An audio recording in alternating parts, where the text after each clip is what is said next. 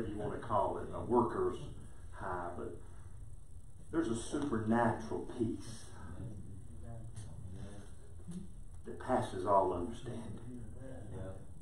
It's not something you work up. It's something you receive by faith. Um, I believe we've observed our Ronald walking in that peace uh, with his wife being diagnosed with uh, cancer. You and I have talked about that. I think that's the, the witness uh, that I've received mostly from you as you disciple me.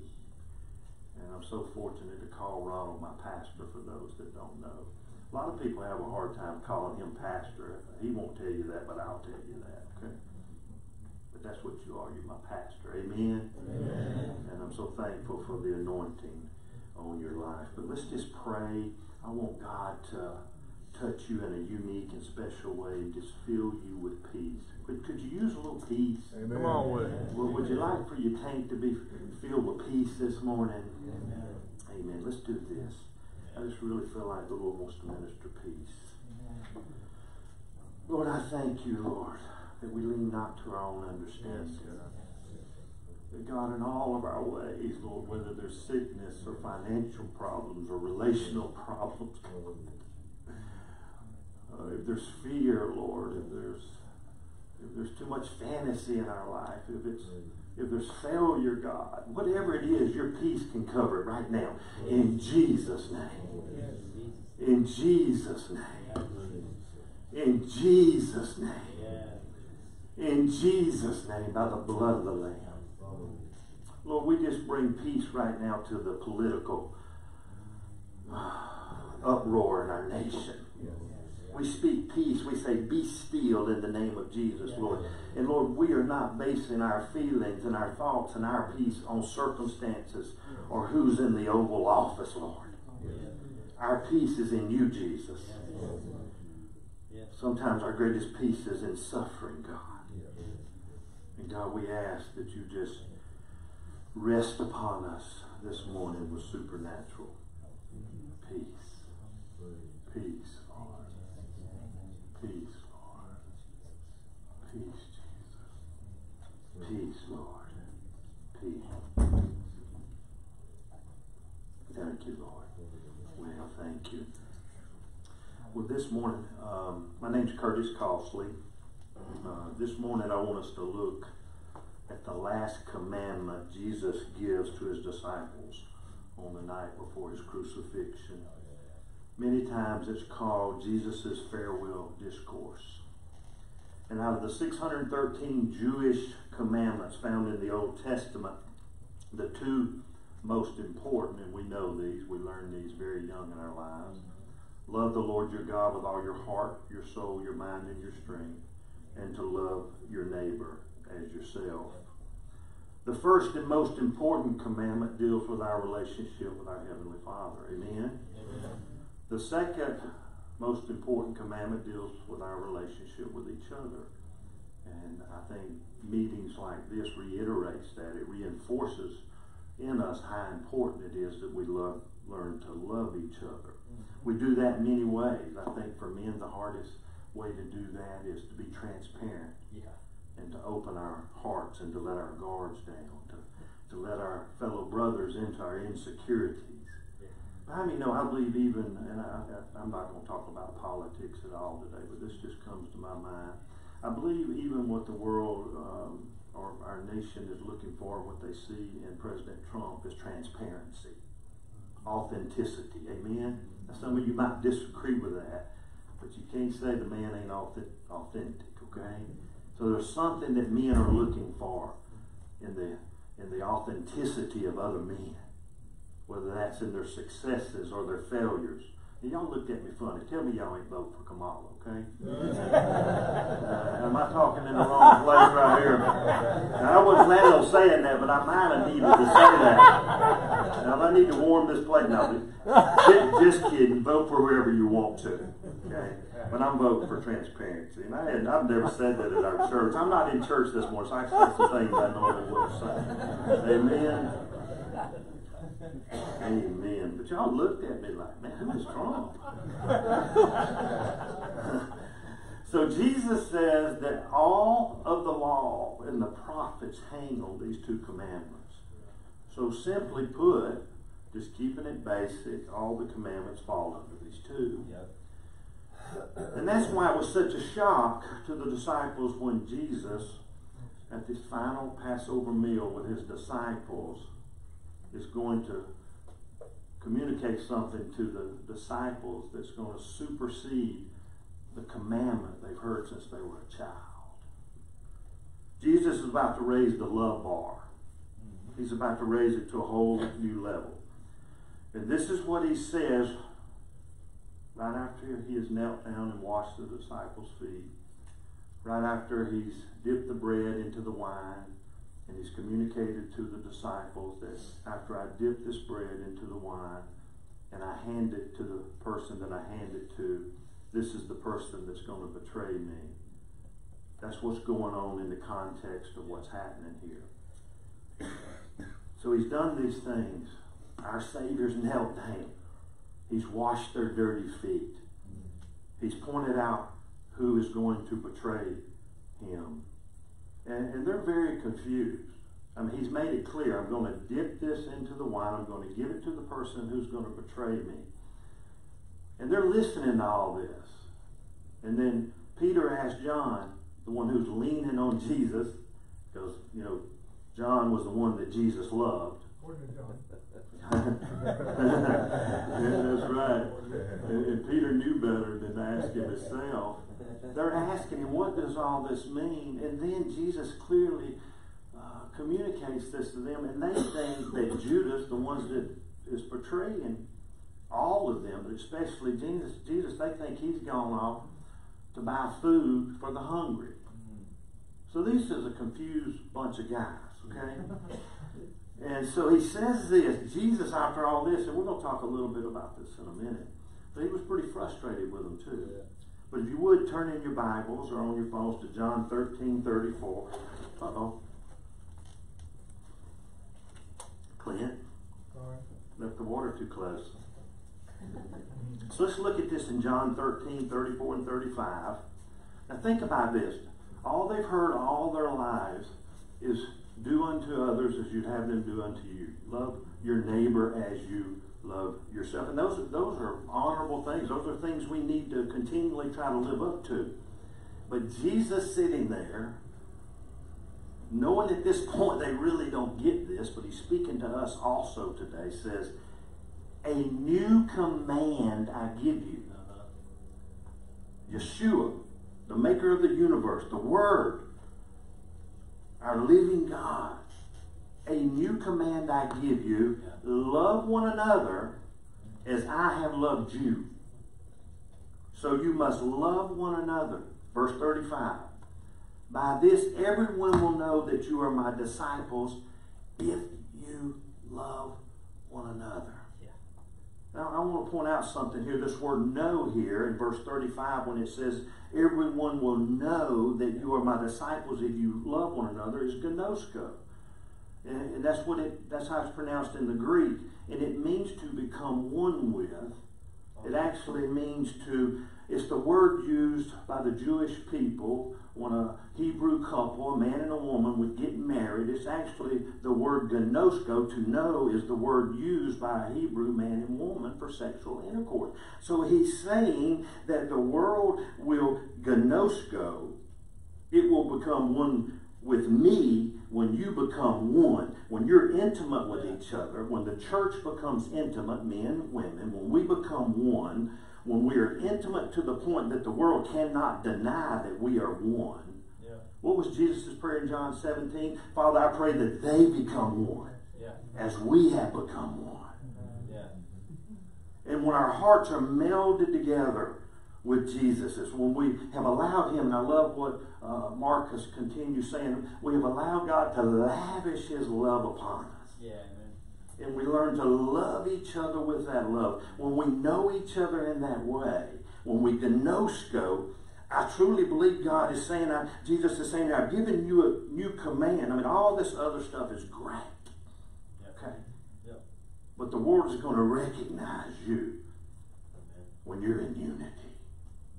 When you are one, when you are one body, when you're flowing in the different anointings, the different giftings. And how many know that takes deferring one to another? Amen. That takes laying down your lives one for another. It's fun to talk about until someone is better at doing something than you are.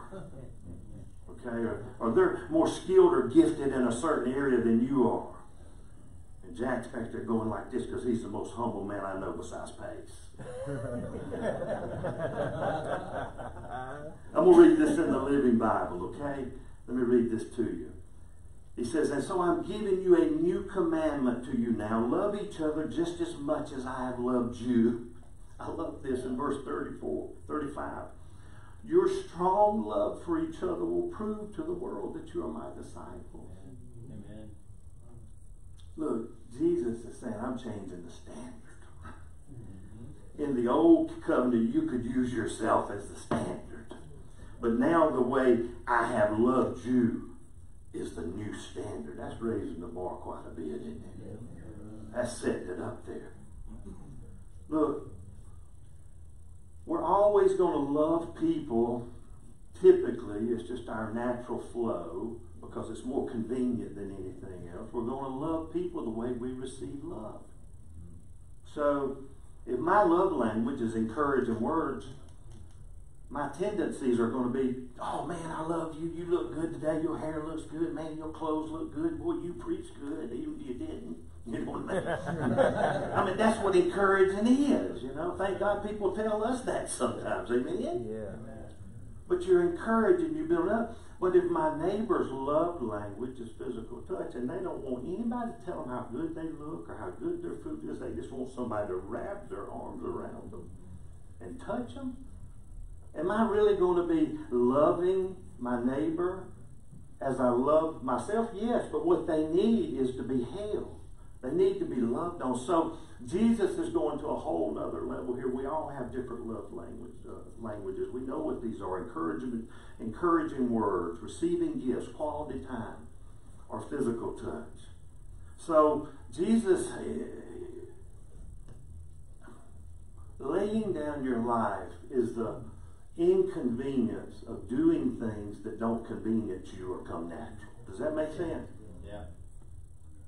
I mean, going outside the box, getting close enough to someone to know how they feel, know what touches their emotions, know what moves them, know what helps guide them into a deeper level of discipleship. Mm-hmm. That's what Jesus is doing here. I mean, he's camped out with these guys. Yep. He's cooked a meal. He slept in different homes with them. And that's what he's doing. So Jesus had taught the disciples many things during their three together. They've experienced many supernatural things. They have healed the sick, cast out demons, and preached his word in power. But here Jesus is saying, these things are important, but I'm giving you something that's more important. Yeah. This last and new commandment I'm giving you will prove to the world that you are my disciples. Yeah.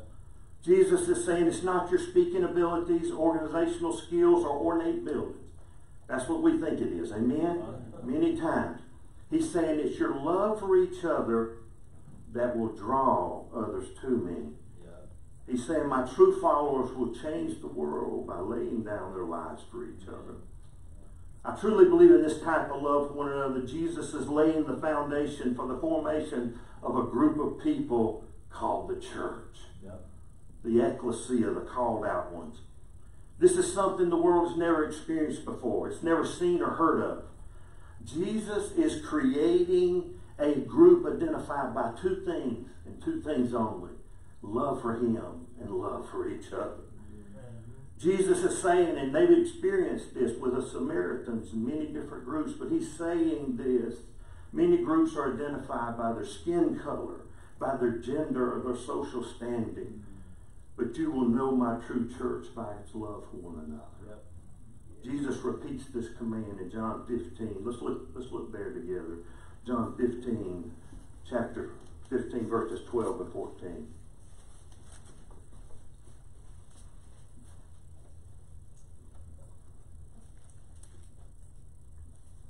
And let me remind you again. Jesus, at this point, when he repeats this, he says this three times in John chapter 13, 14, 15. He reminds them three times, I'm giving you a new commandment. Now love each other. now, he's already told them once as Judas has got up and left to go betray him. They've gone through the meal process now. He's standing up with the disciples and he's headed to the Garden of Gethsemane. And he's going to share with them one more time this. And this is what it says in John chapter 15. He said, This is my commandment. Love each other in the same way I have loved you. Guys, I mean, we could spend our whole lives studying that.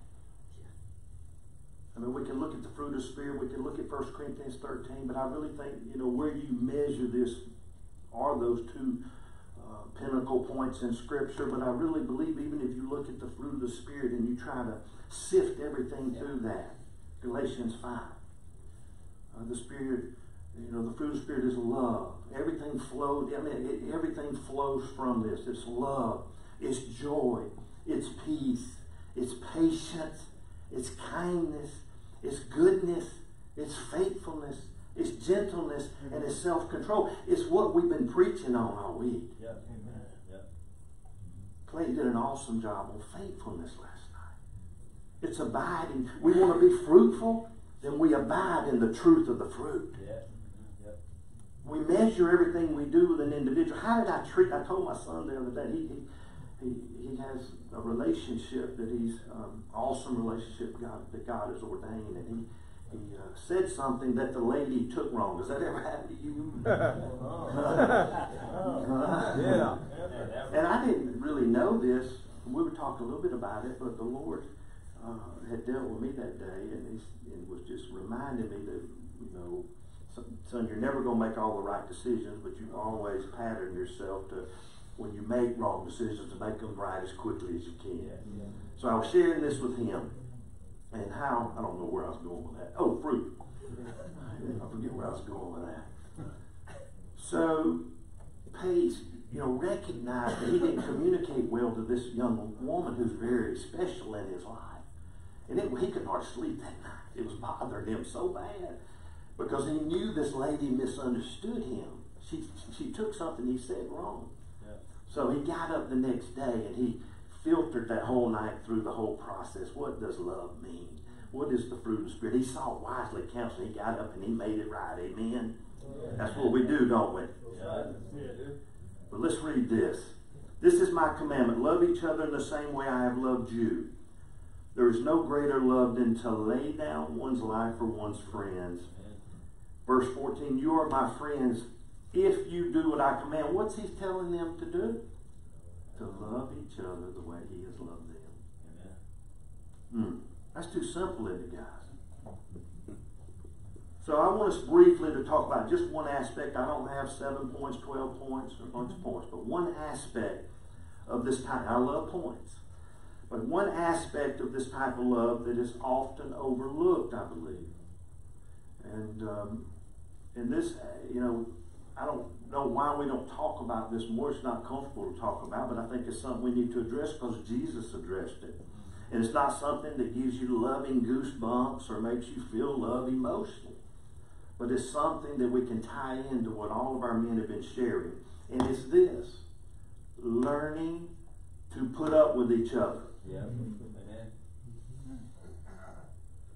Learning to put up with each other.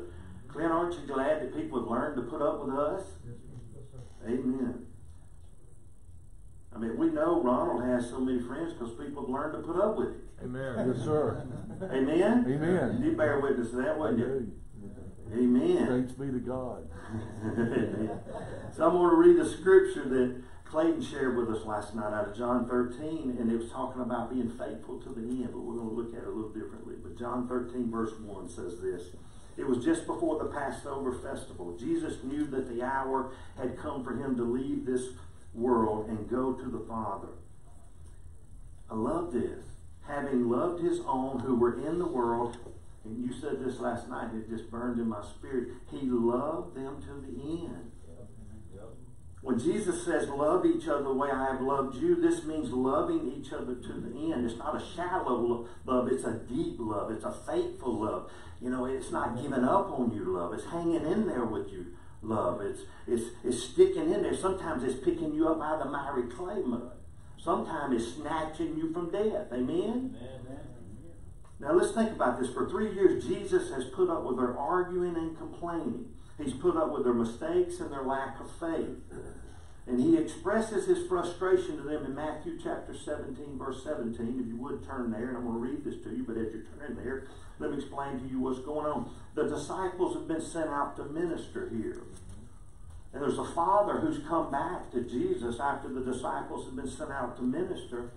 And his son is throwing himself into the water and he's throwing himself into the fire. And he comes back to Jesus and he says, Look, your disciples have not been able to help me. He sent them out. Now, i assume as frustrated as he gets in the scripture, this is not the first time this has happened. Okay? So he says this in Matthew 17 17. He's talking to his disciples here. You can read the context later. He says, You unbelieving and perverse generation. Well, Okay? That's pretty yep. pretty in your face, isn't it? Jesus replied, How long shall I stay with you? How long shall I put up with you? Bring the boy here. Bring the boy here. And immediately Jesus cast this demon out of the boy and he's healed immediately. Amen? But he's talking to his disciples here. He's loving his disciples here. He's discipling them. He's not demanding that they be perfect and know everything today. But he's also speaking the truth in love. He's being straightforward and honest. But he's also setting them up. He's setting this family up. He's remain, the testimony is continuing that they're going to have another chance to go out Yep. full of the Holy Ghost and try again. Amen. And that's what discipling is. Even if you got to be straight with somebody. Yep. And many times we need to be straight with someone. As soon as you do that, say, get back out there. Get back in the saddle. You can do this. Yep. If you can't come back to me and I'll help you out, I might rebuke you again, but I'm not going to throw you away. That's right. Amen?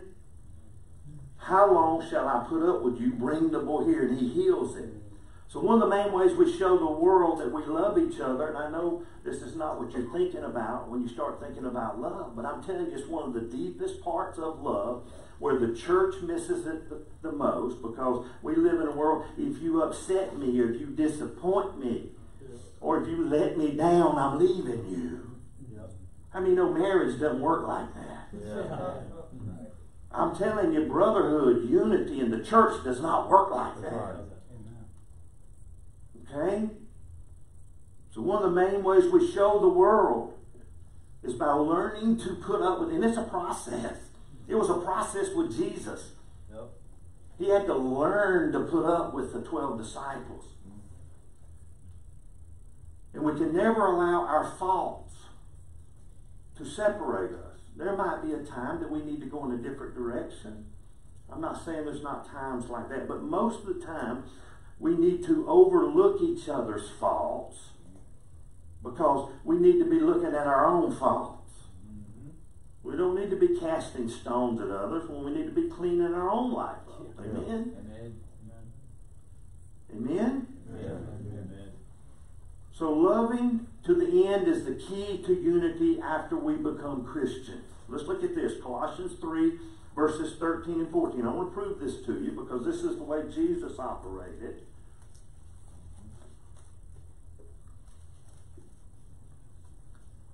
You know, when you're hearing someone talking about becoming a disciple of love, you don't expect them to say one of the keys to that is learning to put up with each other, do you? You know? I mean, we want to, the ooshy gooshy. You know, I mean, I, is that a word you can use? It is now. We're not, we're not at a women's conference. Ooshy gooshy. Hey, but the truth is, if you're a, if you're a believer, the reason you keep coming back is you want to feel the ooshy gooshy of Jesus. You want Jesus to love on you. Amen? That's the reason I, I, I love it. But let's read this. Now, I just want us to think about this because I know most of us are faithful men who are, you know, involved in a local church, and and and um, you know that's so so important. I know we can, we need to work outside the church. The Bible says, "Go into all the world and make disciples." Okay, but I, I think many times we misrepresent what God's command to us is if we don't stay planted in the local church.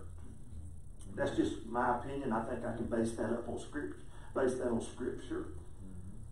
Um, it's hard to bring forth a fruit that remains unless you're planted in the body. Now, I'm not saying you have to be within the four walls to be the body of Christ. I'm just saying, don't think that there's one or the other. There's both. Yep. Don't ever get caught. The Bible says to be temperate or balanced in everything you do. So the mindset when it comes to a family, you know, if you look at Hebrews chapter 10, and, and, and I really believe this is the day, you know, if you're a pastor, the main thing you deal with the first year or two with people coming in is they just hurt. Mm-hmm. You gotta love them. I mean, they, they, they're untrusting, they've been hurt. You don't want to hurt them, you want to love them. And the reason I believe it's like that is because God is teaching us leaders, us shepherds, whatever your anointing or your calling is, that in these last days, I believe this with all of my heart, there's going to be a supernatural outpouring of agape love into our hearts. We got to have it Yeah. Yeah. because people are hurt. Yeah. I mean, uh, read uh, 1 Timothy chapter 3. Read Matthew 24. Re- read how it's going to be. Read the, the birth pains. And we see all these things happening right now. And the truth is, we've got to receive more of that love so we can impart more of that love into each other. And part of that is just slap. Keep showing up and putting up with each other. It's not all that spiritual sometimes. You know, I've been in a season this summer in my life. Uh, I got sick in June. I've never had health problems. I still don't, but I, I get really lightheaded. We've been going through some financial stuff. Many of you know what I've gone through in the last two years. And, and the Lord, the word for me right now is just keep showing up. Yeah. Yeah. That's right. I mean, when I was, you know, praying about the peace that uh, I wanted you to experience, it was the peace I experienced at about seven o'clock this morning. Yeah. Sometimes you have to fight for peace. Amen. Amen. Right. Just keep showing up. Don't throw in the towel. Amen. You know, I'll tell you what the Lord told me with that when He said that to me. Because it's a lot about you, our, our fellow believers, more about the young. He said, the Lord said this to me because I mean, I've thought about throwing in the towel. Have you ever thought about throwing in the towel? Pappy? Oh, no, never. Uh, I've just thought about it. You know, I just ain't feeling things like I used to, you know? And when you're a love magnet like me, it's important that people are attracted to you. Okay? You, when you're a love train like me, you got to get on the caboose and go with it. We're going somewhere. But the truth is, I've been faithing it, faking it until I feel it. Amen. I love people. I love ministering to people. But the Lord told me that because it, wasn't for me. It was for all these young people and everybody that I'm pastoring. But the Lord said, keep showing up. He said, prove you're not a quitter. Come on.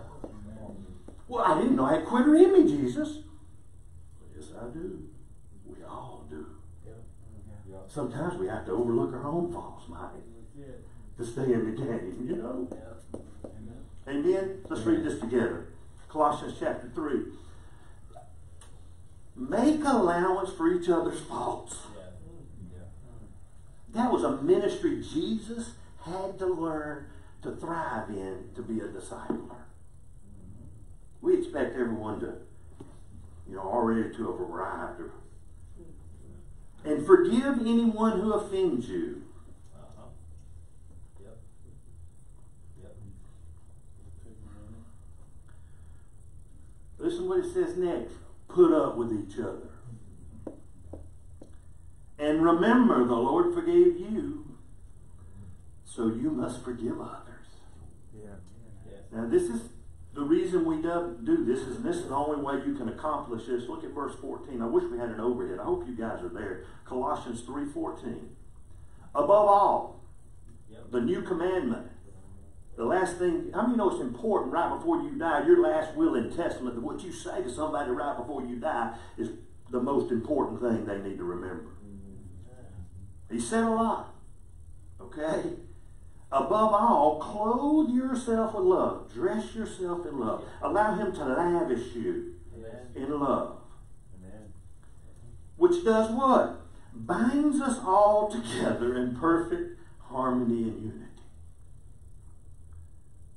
Psalms 133, Old Testament, New Testament. How pleasant and how good it is when my people dwell together in unity. There I will command my blessing. Through all the and I, and I want us to remember in closing through all the pressure of the moment, being misunderstood, betrayed. Now, Jesus is being misunderstood. They're not understanding a word. You got to understand. One of the things he says to them when they're sitting around the table, they're, they're trying, they're still wanting to see the Father. Jesus is sitting there with them. Show us the Father. He says, Well, if you've seen me, you've seen the Father. And, and they don't get it. Now think about it. If God, first uh, John chapter 4 says what? God is love. And Jesus saying, if you've seen me, you've seen love. Love is sitting around the table with them. They, they've eaten meals together. They've seen miracles. They've seen blind eyes open. They've seen the dead raised. They're with the perfect personification of love. And guess what? They don't get it. So we can't expect people to get it when we're discipling them when we think they're supposed to get it. Love is patient. Love is kind. Love is not rude. Does not envy, does not boast, not is, is not proud, not self-centered, keeps no record of the wrongs it receives, overlooks each other's faults. And he's putting up with these guys till the end. How would you like to be loved? Jesus. If you've seen the Father, if you've seen me, you've seen the Father. You've seen the, the perfect personification of love. And yet you're going to the Garden of Gethsemane where you're going to sweat uh, dro- drops of blood, where you're going to lay down your suitcase, your mind, your will, your emotions before you lay down your body physically. And you just shared a meal with love, and they fall asleep on you. I guess my point in all this is what I found as a pastor, what I found as a friend, the ones that stick together and the miracle comes in the end are the ones that learn how to receive each other right where they're at, overlook each other's faults, and filter everything through 1 Corinthians 13 and Galatians chapter 5. Amen. That needs to be the filter for your life. Take a step back, filter it. Is that what you're clothed in? Is that what you're making every assessment in your life about? So sometimes just putting up with each other is the love that proves to the world we're his disciples. Yep. And loving to the end is the key to unity for our Christians after we come to know the Lord. Let's just bow our heads. I was going to read you, some, I am going to read you this. I'm going to close this. Take a second. This is something that part of who I really believe this, and I believe this is prophetic, and I know it's prophetic because the Lord spoke this to me in 2018. I've never really shared this with anybody but a few close friends in our church, but this is what the Lord spoke to me after a 10 day fast in 2018 in January. And this is what uh, you're seeing much fruit from with um, Danny and a lot of the younger. This is what they're draw, drawn to. And now we have a ministry called the Love Movement, which my daughter has started. But this is where this came from. And I believe this is a word for many of you. It says, Hey, he, the Lord said to me, I'm growing weary. This is 2008 in January. And I just want to close with this just to plant this seed of how important love is. The Lord said, I'm growing weary of selfish and immature believers causing my people to stumble. Let me say that again. The Lord just clearly He said, I'm growing weary of selfish and immature believers causing my people to stumble. He said, He said the gifts are free, and, I, and our church is ten years old. At this point, we were four or five years old, and my main focus was speak, preaching on spiritual gifts because we have a blend of different denominations, so you have to take it pretty slow and highlight spiritual gifts. But the Lord highlighted to me. He said, "The Lord said the gifts are free, but love is something you have to die for." Yep. He said, For I so loved the world that I allowed my only son to die for you. Therefore, you must give up your lives for me and each other. Yep. This is where most of my children miss it the each others. And he went on to tell us three things Allow me to lavish my love upon you. We love him because he first loved us. Allow that love to melt your heart and then pour that love into each other. Yes. 1 John 4.20, and I'm going to close by reading from the Message Bible. I don't care if that offends you. It says, I'm going to read from 1 John 4, 20, 21. Just let me read it to you. Don't turn there because it'll take you forever to find it in the Message Bible. If anyone boasts, I love God, and goes right on hating his brother or sister, thinking nothing of it, he is a liar. My brother Kenny came over here and said, You're a liar. Not Kenny, but There. He is a liar. If he won't love the person he can see, how can he love the God he Yeah. can't see? Amen. The command we have from Christ is blunt. Loving God includes loving people. You've got to love them both. Yep. Amen? Amen. Amen. Go ahead, Marcus. You, you can just, just, I mean, you finished? Yes, sir. Let's let's stand for a moment. Let's let's let's, let's do sing one worship song before we leave, Pastor. That's okay. Listen, if you need your love tank filled,